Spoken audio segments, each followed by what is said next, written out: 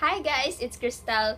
Welcome back to another episode of Chem Magics. Today we are going to perform an experiment called smoking fingers. So what are you waiting for? Sit back, relax, and enjoy! So for this experiment, we will be needing cold plate, a lighter, and our magic paper. First, fold the magic paper into half so that it would look like this. Then, set the magic paper into fire over the plate.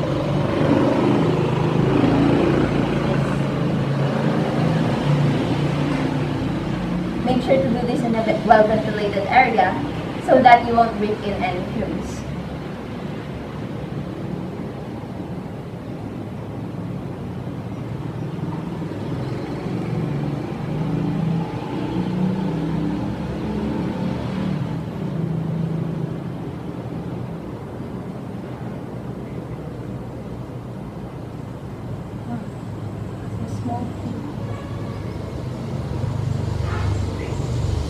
Once the magic paper is all burned out, move those in, into one side because it's this brown residue that we are after.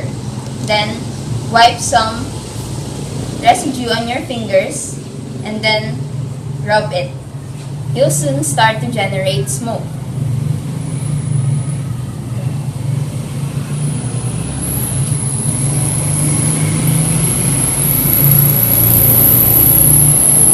You see that? It's smoking.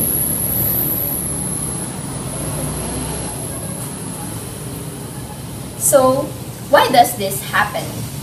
The magic paper we used a while ago is none other than the striker of a matchbox. So, what is the chemistry behind this experiment? Phosphorus is a chemical element that can take on several forms called allotropes. The type of phosphorus present in the striker of the matchbox is called red phosphorus.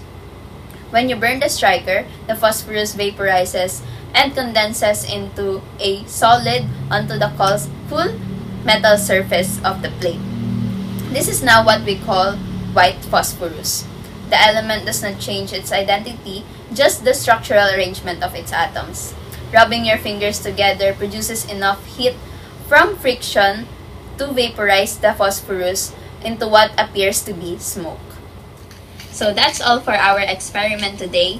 Thank you for watching and if you like this video, give it a thumbs up.